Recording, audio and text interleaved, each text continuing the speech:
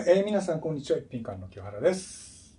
エソテリックの佐伯でございます。はい。ということで、佐伯さんをお招きしてですね、3本って言ってましたけど、うんなんとなく2本にそうまくまとまりまして、え2本目はですね、グランディオソのシステムを使って、はい。キンチン。ケンチンとはい GR を聞くということで、あの、使用機材の説明よろしくお願いします。えーと、まずですね、えープレイヤーは、えーグランディオソの K1X、えー290万。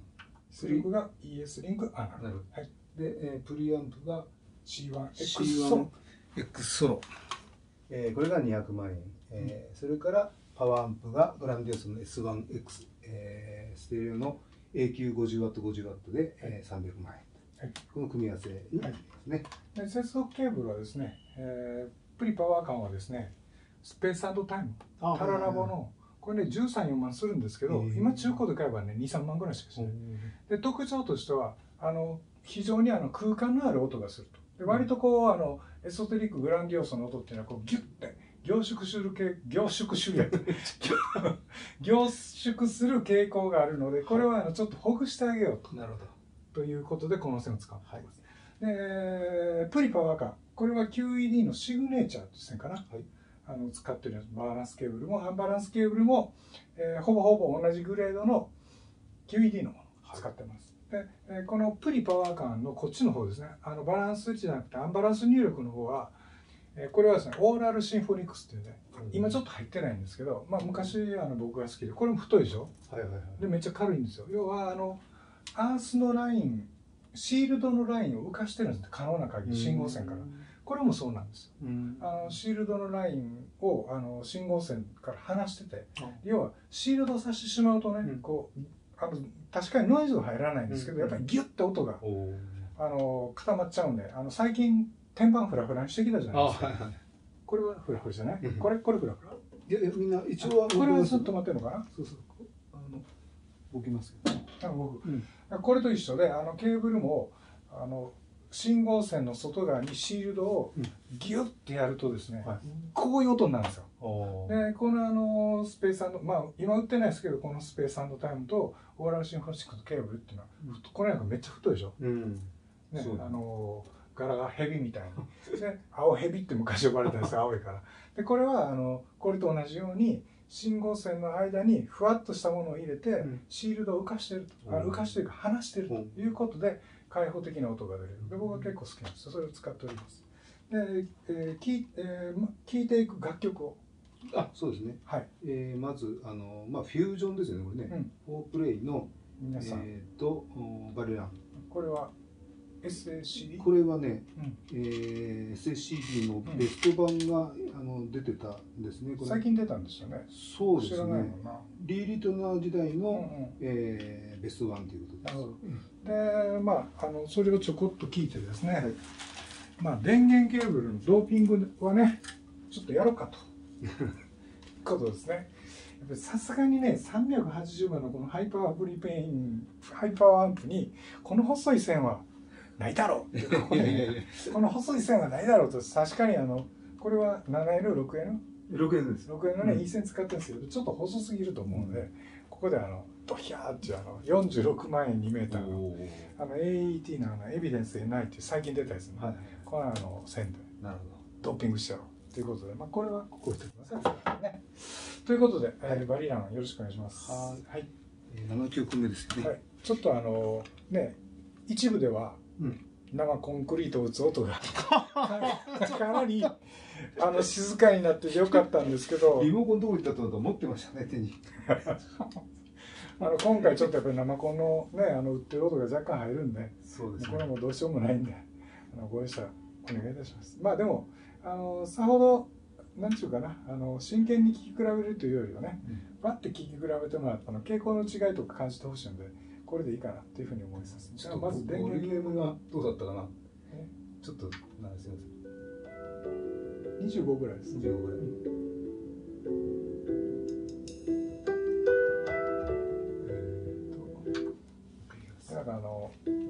ライブ録音中にいろいろいろいろ言いますね佐伯さんね。もうカットできないですよ。こうやこういうかぶせてかぶせてこられると。すみませんね。独り言のようにね空間で言ってもらうとそこで切れるんですけど。かぶせてきてますから。ねて先25ぐらいで切りますそうですね。はい。じゃあこれではい。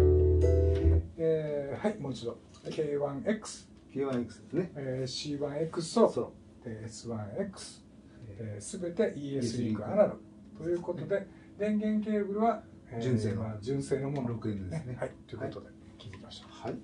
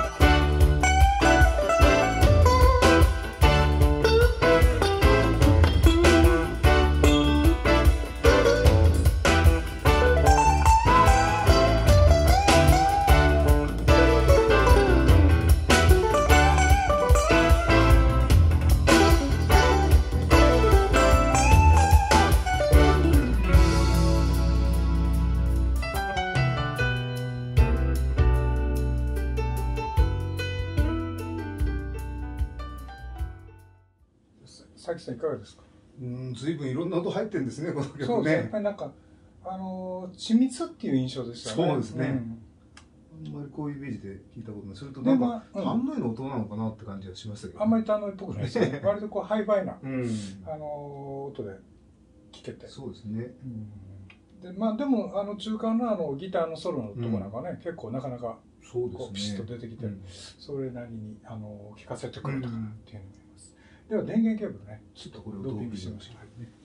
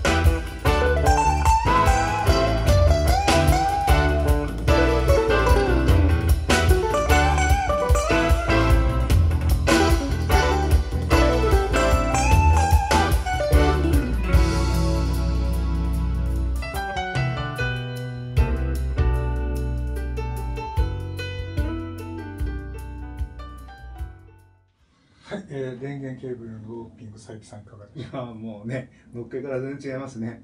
ベースが軽やかに走るしねうん。ギターもすごくもうね色がもうね、色でもそのあのグランディオスの色を損ねたっていう感じ全然ないでしょ？そううん。そうなんですよ。グランディオスの目的とするうん。あのね方向のまま、うん。こうグッと良くなっていくそう素晴らしいいいと思いますね、うん。あの緻密になって色彩が濃くなって、うん。で特に沈み込むとこねあの、あのピアニッシモというかふーって入っていくところのあのあのノーマルでの電源ケーブルだったらこの辺だったのがもっとずっとね、うん。細かいところまで聞こえるような。ですね。でギターのソロのところはねパンってやった時のあのピンっていうアタックがねこうこういったのがもっとスンって伸びるようすなごいですね。はい、ということで、まあ、この電源ケーブルのドーピング状態で、えー、聞いてあ一回こっち先してみましょうか。やりますか、ね。ねはいはい。はい、ということで、えーこれはアナログにしてもらって、えー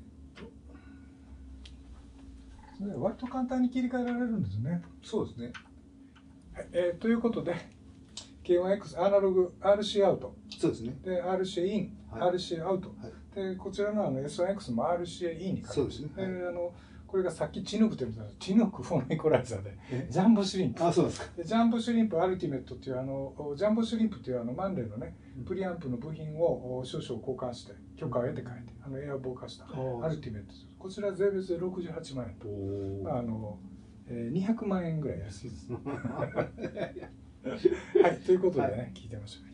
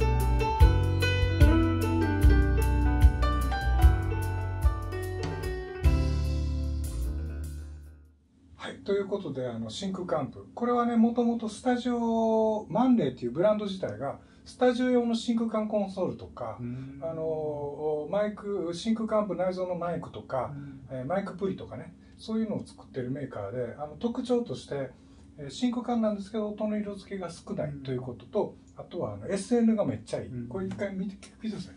これ。無音でしょ。本当ありえないでしょ。だ真空管プですよだあのハンムノイズもうん。残留ノイズも全く出ないだからあの下手なトランジスタアンプよりずっと SN がいいので、うん。あのノイズが少ないんで、うん。あのという特徴があります。一応さ聞いていただいてどうですか？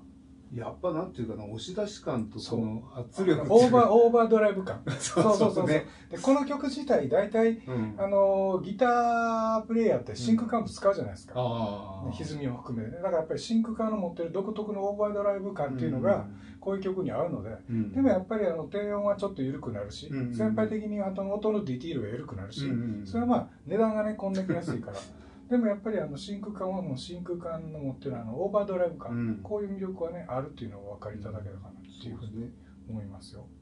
はい、ということでした。あと音の広がりね。そうですね。真空管がうんこうファーって広がって、だからそういうところがあるということですね。はい、っていうかえーこれ一回 300B に変えてみます？あそうですね。こそっちの方がうん面白そうでですすはい、ということでじゃああの、はい。300B に入れ替えてみましょう。はい、はい、ということでねあのプリアンプのはい。変わりました、これはなんと 300B おこれを出力化に使ってるという。ー。あのねこれねフォノアウトもあってヘッドホンアンプで使った時も 300B を出力化にヘッドホンアンプになるんでヘッドホンもこれめっちゃいい音するんですよ。おでこえーとね、さっきの68です。これはねバンレーのオリジナルのままストックのままあの、わ私が何かいたずらしたりしてないので。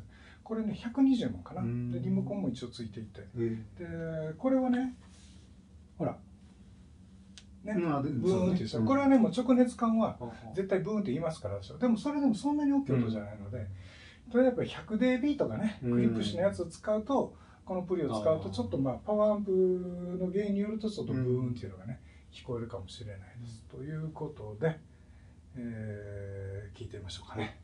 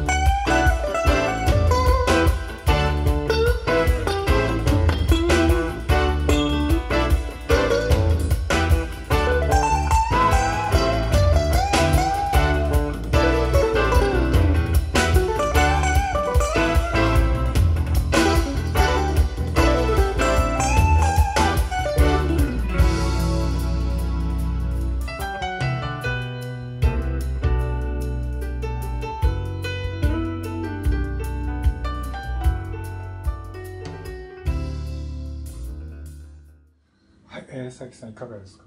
あの電気入れた時どんどんどんどんねなんか良くなってきてる感じしててそうあのねウォーミングアップしてなかったんで大体15分ぐらいかかるんですけど今ちょっとね5分ぐらいしか鳴らしなかったでもやっぱ丁寧なね骨格感っていうのは感じますよね、非常に、うん。あの素晴らしいと思う、うん。うん。楽しいでしょ？そうね、うん。これねあのいい方法があって、うん。これ今ダイレクトにスピーカーに入れてるでしょ、うん。あダイレクトにパワーアンプに入れてるでしょ、あはノイズ出てるでしょ、うん。これねダイレクトじゃなくてこれね CD プレイヤーとプリの間に入れるんです。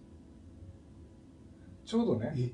これこれぐらいの位置でうん。入力ゲインと出力ゲインが一緒になるんですよ。ほだからボリュームこれぐらいの位置にして、ん。これのあの RC アウトをこれに入れて、うん。で、えーこれの出力をですねプリに入れる。要は CD 昔のほら CD ラインバッファーってあったでしょ？あー。あれのあれに使うんですよ。そうするとうん。あのこういうノイズも出ずにで今みたいな音が出てうん。でしかもあのアンプの切り替えいらないですからうん。これをアナログアウトにしてこれの入力をあごめんなさいこれを RC アウトにしてこれの入力を RCA インにするだけでうん。こいつがエフェクターとして働くんで今みたいな音出るんですよ。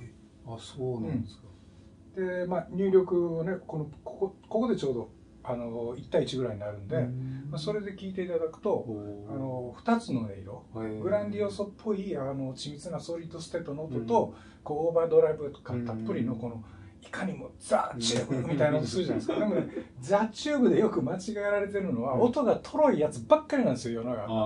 どこのとは言わないですけど 僕が知ってるあの、まあ、EAR すごく良かったですけど、タパラビッチになくなってね、あの開発も止まっちゃってるんで、まあ、今あるのはいいですけどやっぱりマンレーはあのアメリカの現行のスタジオユースのメンバーで、うん。これ社長ね女性なんですよ、えーイバンナっていう人ですけどね,、えーとね僕よりまだ若いぐらい、えーネイティブアメリカですからちょっとインディアンの血が入った女性なんですけどすごいアグレッシブで。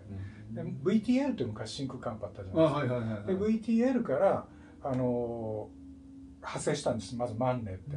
でそこで、あのーもイバンナの元旦那がやってたの。うん。でそこへイバンナが大学工学大学を卒業してきて入社して、うん。だから二十歳そこそこの女の子が技術まぐーっと習得していって社長とできちゃって結婚するんですよ。へー。で結婚して社長がやる気ないから社長出て行ってマンレーはイバンナがやってるっていう面白い人ですよ。だからやっぱりそのなんかねネイティブアメリカンらしいなんか血を感じる。うん。なんかわかります？うんなんかね。なんかノリがいいじゃないですか。すごいそうそうそう。でそう。ギターなんかでもピアノなんかでもそうなんですけどこう弾いてる感じがもっとこう抑揚をねつけてあの強弱がはっきりして。アメリカ人ね。そうそう強弱がしっかりしてるはいだからやっぱりそういう部分があってあのーまあ単ノイがより単ノイらしくなるしうんでまあデジタルの音がねあうん。のレコードみたいな、うんアナログっぽくなるということで、まあ、あの一品感はこれを結構進めますけど、まあ、次え次の曲曲を借りますね。C1 に戻して。はいえーっと次はこれでしたっけ？あそうですね。え今回 SACD シリーズということでダイアナ・クラルさんの、えーライブ・イン・パリスのね SACD これはねあの輸入版しか手に入らないんで、えーオーディオユニオンで買ったかな僕。あの輸入版をわざわざ今のまんまでいいんですかね？いやこれこっちですね。あえ It's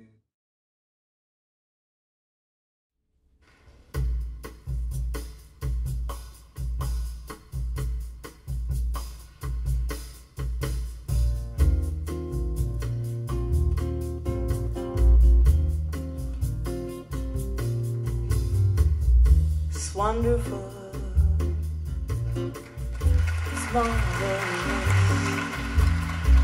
that you should care for me. It's awfully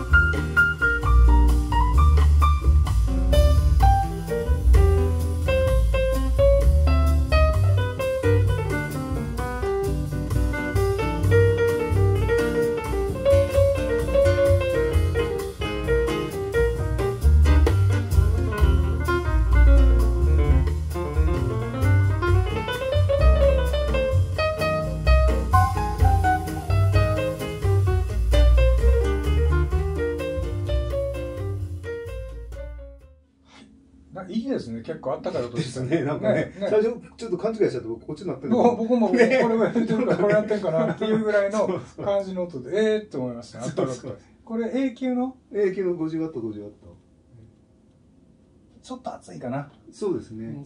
かろうじて触れるんで50度前後かな、うん。55度かぐらいになってやっぱりまああんまりラックの中に入れない方がいいですよね。そうですね。だから入んないようにしちゃって。それは違う。それは違う それは違うそれは違うと思いますでもねあの最初こんなに暑くなってなかったんですけどね。なんかやっぱりあの徐々に暑くなってきてるのかなやっぱ音量によるのかな。だと思いますね。うんうん。でもあのそんな感じで、うん。えーじゃあねもう別にこのわわざわざ68万円のもう聞いてみたいんですけどまあねうん。あの早速これに行きましょうか。そうですね。はい、で一応このねあのグランディオソのこの辺りのものになるとですね、まあ、一品館はですねあの基本的にあんまりこう設置とかうん。いかないんですね、まあ、あの近畿圏内近いところであの一応優勝になるんですけどあの設置サービスも行ってますけど、まあ、これぐらいのものになればね、あの設置サービスやらせてもらいますけどあの例えば関東地区でうん。グランディオソを買っていただいたらあの佐伯さんが伺わさせていただきます。はい、行っていただけますから。はい、あのーまあ。いろんなお店があるんですけど、うんまあこの放送を見れば、まあできれば一品館で買っていただけると。そうですね私は幸せです。まあどこの店で売れても最近は幸せなんですけど、一品館から売れれば私は幸せだということで、まあ一応あのマンデーでさあ聞いてみましょう。はい。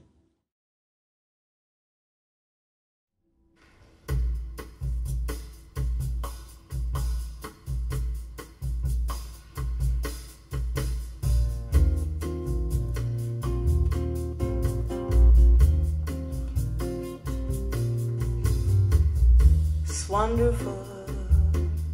It's marvelous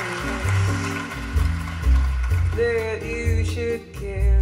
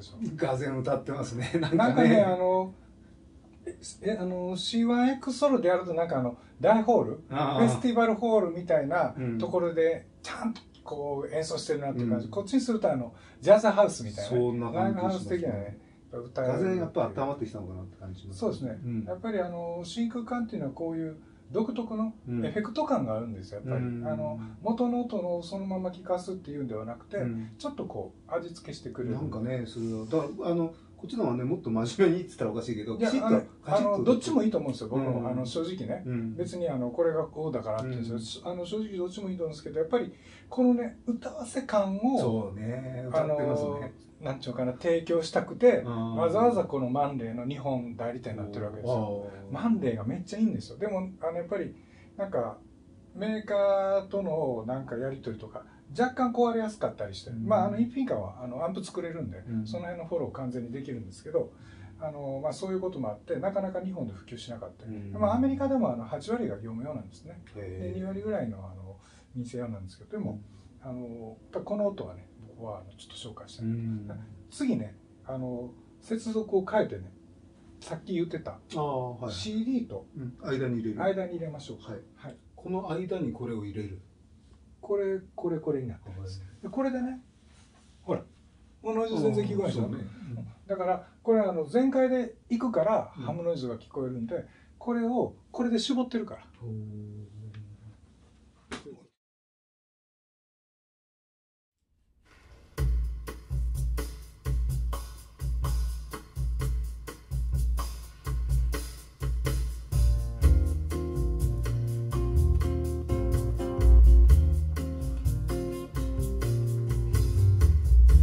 wonderful. It's marvelous that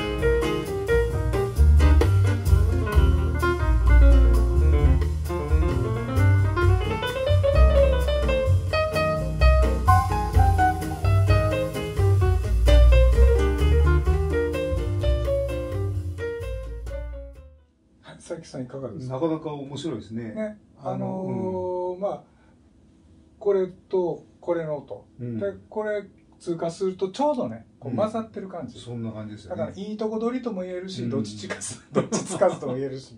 なんですけどでもこういうねあの楽しみ方も一ついいかなって。やっぱりね真空管っていうのはいまだにやっぱりギターアンプとかねずっと真空管使われてますしうん。ねあのテクニカだって真空管のあのコンデンサンプ出してますからあ本当。そうですよ。ノイマンも真空管のコンデンサンプ出しますからあー。1本100万ぐらいしますから。やっぱりね真空管っていうのはあの音の頂点に今もいるんですよ。うん。あの現場でね。だからやっぱり再生のあの民生っていうかあの我々のオーディオっていう趣味の中にも、えー真空管のいいものを持ってくるっていうのはあの僕はあのおすすめだと思うんですよ。でこれの良さは何と言ってもこれが380万。200万。あこあこれはそうか。200万か。そうそう。200万これ120万でしょ だから決して高くないんですよ。あでもねあのえっ、とね僕が歴代のね真空管アンプで良かったなと思うのはカウンターポイントの SA500 ああ SA5000 はいあれ100万円。でその前にねオーディオリサーチの SP7 っていうのだった。これはそれから30年以上経ってんのに、うん。その30年前の機械と値段があんま変わんないんですよ、うん。だから本当にマンレーがいかにその良質なものを安く作ってるかっていうね、300B 使ってるんですよそうですよね。ほんまもん。でこれはえーっとねこれはあのエレハモエレクトロニクスハーモニクスの300で例えばあのプスバンに変えたり今あの復刻されてるウエスタンの 300B に差し替えることができます、で差し替えるとねもう少しあのクリアになってちょっと艶っぽくなる。うん。意外に僕はこのあのちょっとドロッとしたねあ音が好きなんであえて差し替えてませんけど、まあ、あのそういう差し替えた斬新ってここれが最初のあのデフォルトのついデフォルトまんまだからこれ声量も真空管です。あー。冷静音の。ちょっと見た目が見た目がね困難なんで なんかめっちゃとろっとしたらドロッとした音が出そうじゃないですか。そうでもやっぱりねスタジオで使われてるんであー。そこはやっぱりもうあの現代のスタジオで使われてるからやっぱりハイレゾとかそういうのに対応する周波数練習とか SN とかねそういうのはあのきちっと抑えてきてるというふうに思います。では、えー次の曲お願いします、今度はねあの緑さんですねソニーから出てるディスクなんですけど、えー DSD 録音されたあ後藤みどりさんのバイオリンとロバート・マクドナルドさんのピアノでね、えーさっきかけてたのは結構後藤みどりさん初期。これ中期ぐらいかな、えーフランシス・ポーレンクっていうあのフランスの作曲家が書いたあのバイオリンとピアノのためのソナタというね曲を聴い。ていこうと思います。はい、よろしくお願いします。「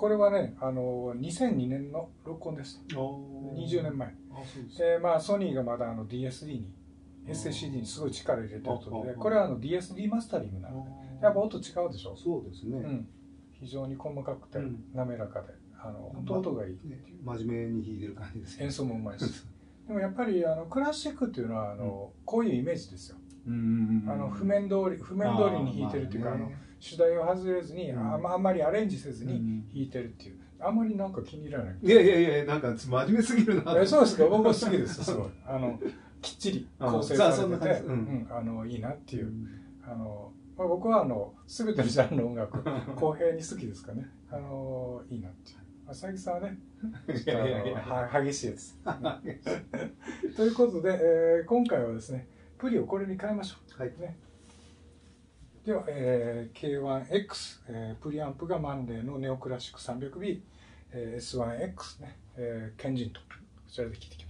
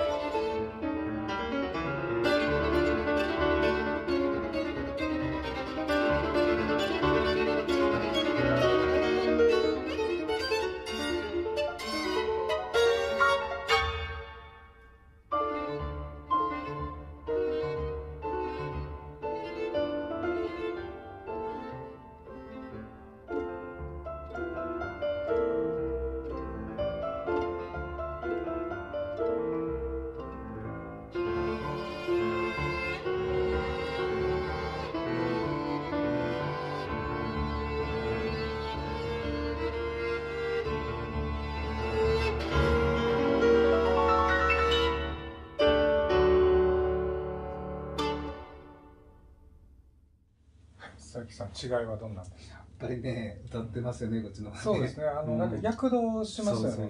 やっぱりこう生演奏聴いた感じのあのピアノの弾いてる感じとかバイオリンの弾いてる感じに近いですね、そう。うん。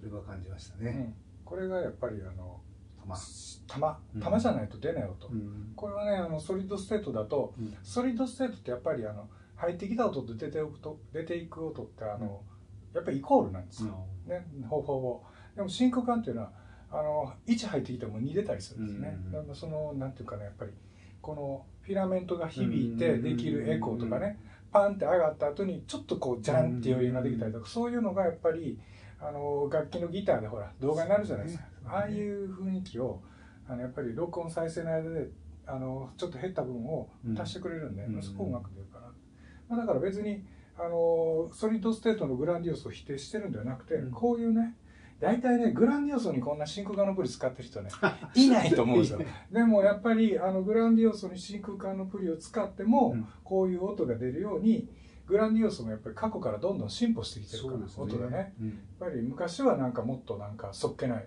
うんそうですね。あの植物的な 音だったんですけどそれがどんどんどんどんあの、うん。柔らかく柔らかくなってきて、うん。やっぱりあのそのそういうグランディオソの音作りと真空管っていうのをこう調和させてあげても全然破綻しない、そうですね。ちゃんとこう、うん。あのそれを包み込んでくれる懐のうん。あのふ深さをねあの S1X は持ってると。うん。上手にまとめるでしょ、もっとねもっとベタなんかと思ったんですよこれ。違う違う、うん。だから多分ねそういうふうに思われてると思うんですよいろいろ。値段も含めね。あ例えばまあ、まあ、はっきり言ってこう280万いや200万200万はい。なんかねあの380万のコロナの380万えこれこれこれさ300万さっきの S052 台とこれであのあ、280。300はい、380万。この200、あ、200万だと安いですよ、だからね。そうそうそう。僕だから280万って言ったら、これね、280万っぽい音がするんですよ。あだって、あのーあれね、あの C600 が、うん。あれ今300万とか300万超えてるじゃないですか。おーおーおー TAD のもちろんあれ電源滅体で、うん。あのーまあどっちかというとこのあの S1 ソロじゃない方に近いけど、うんこれはあのソロで一体型だけど、うん。やっぱりそのあの音のクオリティってやっぱりすごい高いですもん、うんそう。これ細はかさとか。そうですよね。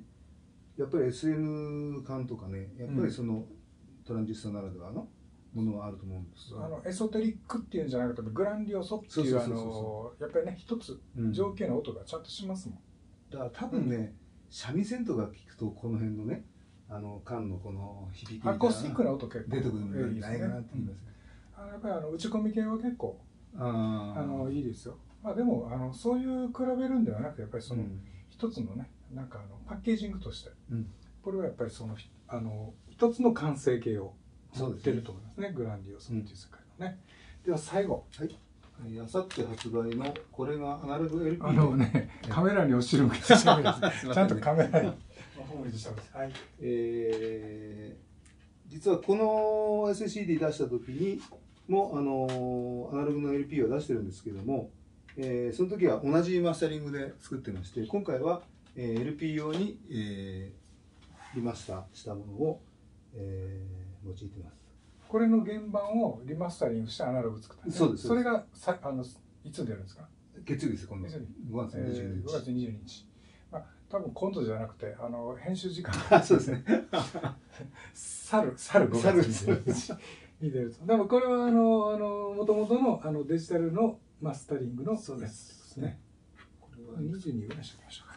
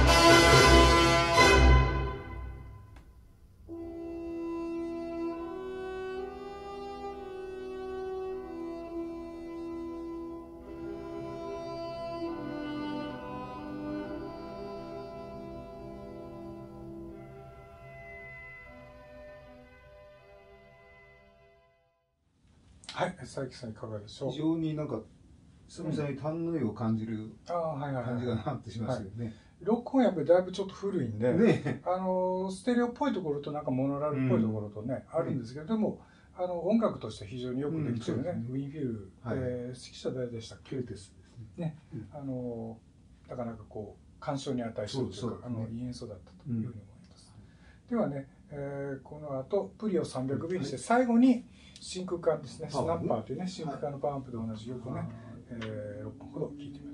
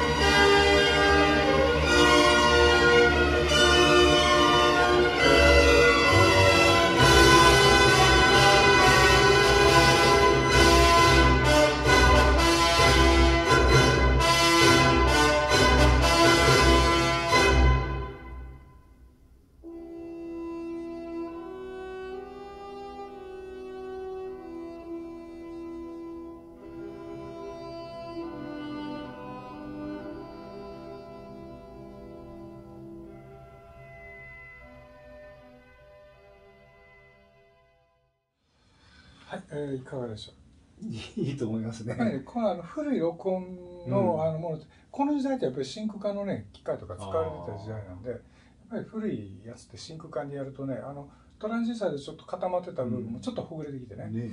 あのバイオリンのこうちょっと上がちょっとトップが潰れてみたいなところもこうシュッて伸びたりとか、まああのやっぱり古いものには、あの真空管ですね。うん。だからあの要はこれをアナログのレコードに直すのと同じようなことが、まあ、プリをあの真空管を使うとね。まあ、あの同じようなことが起きるということです。はい。まあ、この後あのパワーアンプを、うん。えー真空管のマネに変えるんですけど、はい。そうするともはや、うん。エソテリックはいなくな これだけしか残らない。まあ、一回ビデオを止めて、まあ、遊びということで、はいはいまあ、佐伯さんとね、肩の力を抜いて、ちょこっと聞いてみようと